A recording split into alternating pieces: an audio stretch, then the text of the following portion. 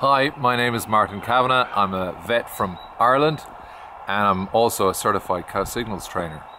So I've used the cow signals method and the books to really learn about how to look at cows and also to pass on that information.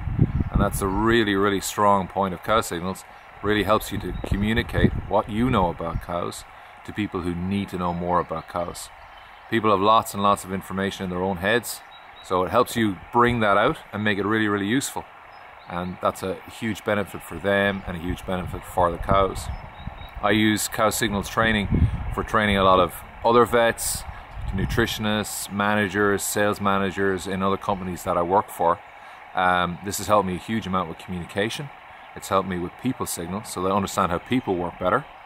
And uh, we, we can communicate, get our message across, and in a way that's both respectful and it's honest with the people that we deal with. So cow signals for me is a win-win situation. It's a win for me, it's a win for the cows, and it's a win for the people I work with. Thank you. Okay.